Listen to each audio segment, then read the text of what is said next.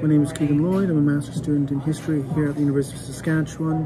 I'm completing a thesis on Aleister Crowley. I'm interested in Crowley's uh, sexual and queer identities, and I'm utilizing the work of Judith Butler, particularly her book entitled Gender Trouble 1990.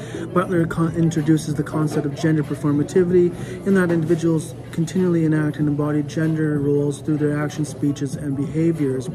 Butler emphasizes that gender is not something that one is entirely born with or predetermined by biology, but is constructed and maintained through repeated performance of social and cultural norms.